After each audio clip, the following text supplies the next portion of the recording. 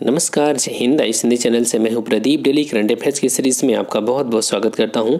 दोस्तों, इसका PDF download करने के लिए आप टेलीग्राम ग्रुप को ज्वाइन कर लें, जिसका लिंक वीडियो के डिस्क्रिप्शन में दिया गया है।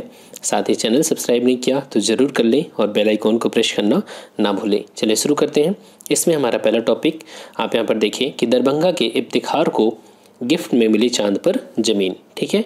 देखिए, ये जो इफ्तिखार हैं ये कहाँ के निवासी हैं? बिहार के हैं।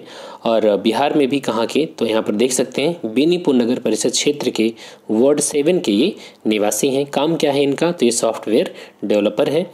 और इनको अमेरिकी कंपनी लूनार सोसाइटी इंटरनेशनल ने बेहतरीन प्रदर्शन करने के लिए चाँद पर एक एकड़ ज़मीन उपहार स्वरूप दिया है। ठीक है? तो जब ये चाँद पर जाएँगे तो इनकी ज़मीन पहले से फिक्स है तो इन्हें किसी से कोई लड़ाई झगड़ा नहीं होना है। ठीक है। और इन्होंने कहा कि हम दरभंगा में एक कंपनी खोलेंगे और यहाँ पर, क्योंकि इनका ये गृह अनुमंडल बेनीपुर के युवाओं के लिए ये काम करेंगे और यहाँ पर कंपनी खोल करके यहाँ के लोगों को ट्रेंड करेंगे, यहाँ के युवाओं को ट्रेंड करके उन्हें जॉब प्रदान करेंगे। ठीक है? तो ये रहा इनके बारे में। और यहाँ पर ध्यान रखना है कि बॉलीवुड अभिनेता सुशांत सिंह राजपूत के बाद इफ्तिखार बिहार के दूसरे ऐसे व्यक्ति हैं जो चाँद पर ज़मीन के प्लाट के मालिक बन चुके हैं। ठीक है? चलिए नेक्स्ट सरस्वती सम्मान पुरस्कार 2020 के बारे में है। प्रसिद्ध मराठी लेखक डॉक्टर शरण कुमार लिम्बाले क्या नाम इनका? डॉक्टर शरण कुमार लिम्बाले को उनकी पुस्तक सनातन के लिए इस बार का जो सरस्वती सम्मान है 2020 इस अवार्ड से सम्मानित किया जाएगा। ठीक है? और ये जो पुस्तक है वो कब प्रकाशित हुई थी? 2018 में इसका प्रकाशन किया गया था। और इस पुरस्कार के तहत कितना क्या दिया जाता है? तो यहाँ पर दिया गया पंद्रह लाख रुपए, एक प्रशस्ति पत्र और एक पट्टिका प्रदान की जाती है। ये जो सरस्वती पुरस्कार ये सम्मान है यहाँ पर देखें तो इसकी शुरुआत किसके द्वारा की गई? तो के के बिरला फाउंडेशन के द्वारा, ठीक है? और 1991 में इस सरस्वती सम्मान को स्थापित किया जाता है मतलब पुरस्कार देना शुरू किया जाता है। क्लियर? यहाँ पर देख सकते हैं, इसकी जो शुरुआत हुई थी 1991 में ही की गई थी। और यहाँ पर कुछ चीज़ें और एक चीज़ बताना चाहूँगा। देखिए, बिरला फाउंडेशन के द्वारा कुछ हम पिछले वीडियोस में भी बात कर चुके हैं, जैसे बिहारी पुरस्कार के बारे में हमने बात किया था। जो बिहारी पुरस्कार है, वो हिंदी और राजस्थान के राजस्थानी लेखकों के लिए दिया जाता है बिहारी पुरस्कार। और वहीं पर ये जो अभी हमने बात किया बात किया था, एक सरस्वती पुरस्कार, और यहाँ पर एक लिखा है ब्यास सम्मान। ठीक है, ये जो ब्यास सम्मान है, वो हिंदी के लिए दिया जाता है। ठीक है तो इतना याद रखना है। चलिए, आगे चलते हैं। 2021-22 में भारत की आर्थिक विकास दर कितनी रहेगी? सात परसेंट रहेगी। ये बात यूनेस्कैप ने बोला है। ये यूनेस्को नहीं है, ठीक है? कन्फ्यूज़न नहीं होना चाहिए। नाम थोड़ा सा मैच कर रहा है। यूनेस्कैप का फुल फॉर्म क्या है? देख लेते हैं। United Nations Economic and Social Commission for Asia and Pacific, ठीक है? जो एशिया पैसिफिक का रीजन है, उसे क्या बोलते हैं? Asia Pacific. देखिए, जो आप इधर देखेंगे जापान है, फिर उधर नीचे फिलीपींस वगैरह है तो ये पूरा प्रशांत महासागर का और इधर अमेरिका हो गया, ठीक है? तो ये प्रशांत महासागर और प्रशांत महासागर के जो चारों ओर देश हैं, आप देखें तो इधर एशिया है और इधर अमेरिका है। तो इस पूरे रीजन को क्या बोला जाता है? Asia Pacific. पैसिफिक का वो रीजन जो एशिया के इधर में है। ठीक है तो इसे कहा जाता है एशिया पैसिफिक। ये तो ये जो संगठन है, उसका फुल फॉर्म आप देखें United Nations Economic and Social Commission for Asia and Pacific इसने एक रिपोर्ट जारी किया। उस रिपोर्ट का नाम क्या है? Economic and Social Survey of Asia and Pacific 2021 इसी रिपोर्ट में बताया कि 2019 में जितना आर्थिक उत्पादन भारत में हुआ था 2021 में उससे कम होगा। ये तो स्वाभाविक सी बात है 2020 में लॉकडाउन वगैरह लगा तो हालाँकि ये रिपोर्ट उतनी सही साबित नहीं होगी। इसलिए साबित, सही साबित नहीं होगी क्योंकि इकोनॉमी तेज़ी से ग्रो कर रही है। हालाँकि इस दरमियान जब वीडियो को रिकॉर्ड कर रहा हूँ तो कोरोना या कोविड नाइन्टीन बहुत तेज़ी से फिर से बढ़ने लगा। तो अब अन्य राज्यों में लॉकडाउन जैसे सिचुएशन फिर से वापस आने लगी। तो अब इससे इकोनॉमिक एक्टिविटीज़ पर क्या फ़र्क पड़ेगा, ये तो हमें बाद में पता चलता रहेगा धीरे धीरे ठीक है तो यहाँ पर इन्होंने बताया कि 2021-22 में जो भारतीय ग्रोथ रेट है, वो कितनी परसेंट रहेगी? सेवन परसेंट रहेगी।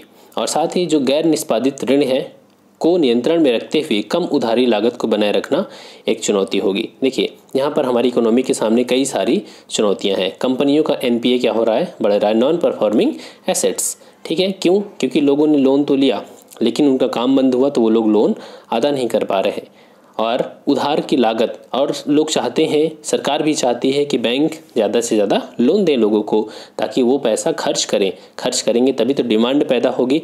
डिमांड पैदा होगी तब क्या होगा? प्रोडक्शन होगा, क्योंकि जब डिमांड नहीं रहेगी तो प्रोडक्शन किस बात का होगा? ठीक है, और डिमांड कब होगी? जब लोगों के पास पैसा होगा, मनी होगी। मतलब इकोनॉमी में लिक्विडिटी होगी, जिसको हम इकोनॉमिक्स की भाषा में तरलता बोलते हैं। ठीक है, जब तरलता होगी तभी तो डिमांड होगी डिमांड होगी तो प्रोडक्शन होगा प्रोडक्शन होगा तो हमारी जीडीपी ग्रो करेगी। एक साइकिल होता है इकोनॉमिक्स में, ठीक है? चलिए, यहाँ पर देखिए, अब इसके बारे में यूनेस कैप के बारे में यहाँ पर बताया गया है, ये जानने की कोई भी बहुत ज़्यादा ज़रूरत नहीं है। चलिए नेक्स्ट वज्र प्रहार, हिमाचल प्रदेश में किया गया भारत और अमेरिका के बीच सैन्य अभ्यास का आयोजन। भारत और अमेरिका की सेना के बीच में जो सैन्य अभ्यास किया गया, उसका नाम क्या है? वज्र प्रहार। ये सैन्य अभ्यास कहाँ पर किया गया? तो भारत में, हिमाचल प्रदेश में किया गया। ठीक है? इसका नाम क्या है? वज्र प्रहार। ये आपको तो बिल्कुल ही याद रखना है। और ये जो वज्र प्रहार अभ्यास है, ये ग्राहवा संस्करण था। ठीक है? और ये बारी बारी से अमेरिका और भारत में आयोजित किया जाता है। तो इसका मतलब जो दसवां राह होगा, वो कहाँ हुआ था? अमेरिका में हुआ था और ग्रामा भारत में हुआ। ठीक है? चलिए। देखिए, इससे क्या होता है दो सेनाओं के बीच में जब सैन्य अभ्यास होता है तो इससे दोनों एक दूसरे की मजबूती को सीखते हैं। टैक्टिक्स अलग अलग होती है हर सेना की तो दोनों एक दूसरे से परिचित होते हैं, उनकी रणनीति से परिचित होते हैं, एक दूसरे के हथियारों का इस्तेमाल करना सीखते हैं। ठीक है, साथ ही दोनों देशों के बीच में हर मुद्दे पर, हर चीज़ों में, अंतर्राष्ट्रीय संबंधों में हमें यहाँ पर मजबूती देखने को मिलती है। मतलब हर क्षेत्र में आप इसको लिंक कर सकते हैं। ठीक? चलिए। कांगो के राष्ट्रपति डेनिस ससो नगेसो को 88 परसेंट वोट के साथ फिर से चुना गया। देखिए, कांगो के राष्ट्रपति कौन है, ये नाम ही बस याद कर लीजिए, डेनिस ससो नगेसो। ठीक है? और इनको लगभग अट्ठासी परसेंट वोट के साथ फिर से जीता गया। मतलब इन्होंने जीत लिया चुनाव। लेकिन आपके लिए पीटी में क्या इंपॉर्टेंट है? यहाँ पर देखिए, इस मैप को ध्यान से देखिएगा। ये अफ्रीका का मैप, यही वो लाल सागर जिसके ऊपर है क्या पर अभी जहाँ पर वो जहाज़ फंसा हुआ था। ठीक है स्वेज कैनाल में स्वेज नहर में।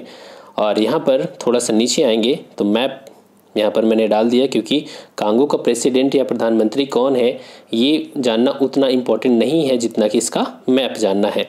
देखिए ध्यान से, ये है ज़ीरो डिग्री ज़ीरो डिग्री आपको पता है कि कहाँ कहाँ से होकर के जाती है। ये तो जानना बहुत ज़रूरी है। ये जो डॉट डॉट लाइन देख रहे हैं, अगर क्वालिटी समझ में ना आ रही हो तो आप 720 पिक्सल दो मिनट के लिए कर लीजिए ताकि ये चीज़ें दिख जाए।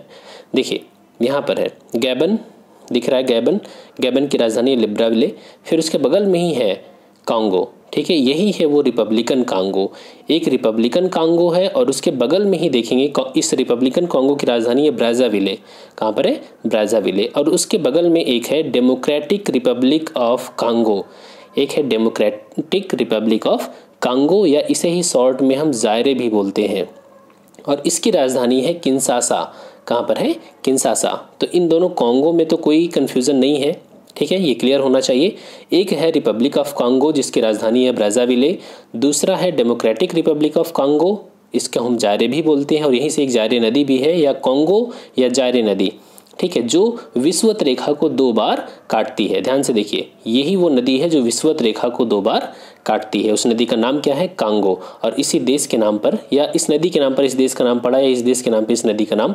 ठीक है तो यहाँ पर देखें ध्यान से तो ये क्लियर होना चाहिए पूरी तरीके से। और इसके बगल में देखोगे आप तो यहाँ पर मिलेगा आपको, इधर हो गया गैबन, फिर कांगो, फिर जायरे। जायरे को ही हम डेमोक्रेटिक रिपब्लिक ऑफ़ कांगो बोलते हैं। और उसके बाद ज़ीरो डिग्री इंटर करती है युगांडा में। युगांडा की राजधानी कंपाला और उसके बाद केन्या, और उसके बाद नैरोबी। क्लियर? तो ये हो गया ज़ीरो डिग्री। ये मैप आपको जानना बहुत ज़रूरी था। और देखिए, यही है विक्टोरिया झील। विक्टोरिया झील से होकर के ज़ीरो डिग्री गुजरती है। ठीक है? और विक्टोरिया झील की विक्टोरिया जो झील है, वो किन से किन से बाउंड्री बनाती है? तो वो बनाती है, नीचे है बुरुंडी, ऊपर है युगांडा, इधर है केन्या। ठीक है? तीन देश ऐसे हैं जिनसे विक्टोरिया लैक बाउंड्री बनाती है। चलिए, ये मैप क्लियर हो गया। आगे चलते हैं। अब हम क्वेश्चन की ओर। हाल ही में बिहार निवासी इफ्तिकार रहमानी को चाँद पर उपहार स्वरूप ज़मीन भेंट की गई। उनका संबंध बिहार के किस ज़िले से है? तो उनका संबंध है बिहार के दरभंगा ज़िले से। ठीक है? नेक्स्ट क्वेश्चन सरस्वती सम्मान पुरस्कार 2020 डॉक्टर सरल कुमार लिम्बाले को किस भाषा के लिए दिया गया? तो उनकी एक पुस्तक है सनातन। ठीक है? सनातन। एक बार फिर से देख लें आप, ताकि पूरी तरीके से दिमाग में बैठ जाए। देखिए, उनकी पुस्तक है सनातन। ठीक है 2018 में इसका प्रकाशन हुआ था और ये किस भाषा में छपी थी? हिंदी भाषा के लिए। सॉरी तो हिंदी भाषा के लिए ये अवार्ड इनको मिला है। चलिए, आगे चलते हैं। यूनेस्कैप के अनुसार 2021-22 में भारत की आर्थिक विकास दर कितनी अनुमानित है? तो यहाँ पर कितना इसने अनुमान लगाया है? सात परसेंट। नेक्स्ट क्वेश्चन भारत और अमेरिका के बीच सैन्य अभ्यास वज्र प्रहार का आयोजन कहाँ किया गया? Uttarakhand Himachal Washington DC New York तो इसका सही आंसर क्या होगा? हिमाचल प्रदेश. ठीक है? नेक्स्ट क्वेश्चन हाल ही में डेनिस ससो नगीसो को किस देश के राष्ट्रपति के रूप में चुना गया? Zimbabwe Nigeria Congo Djibouti. देखिए केवल कांगो लिख देने से वो आ, मतलब कि हो सकता है कन्फ्यूज़न हो जाए लेकिन मैंने मैप दिखाया आपको तो वो क्लियर होगा। ठीक है? तो दोस्तों, ये आज का वीडियो। आई होप कि आपको अच्छा लगा होगा और प्लीज़ वीडियो को शेयर करना मत भूलना। Thanks for watching keep smiling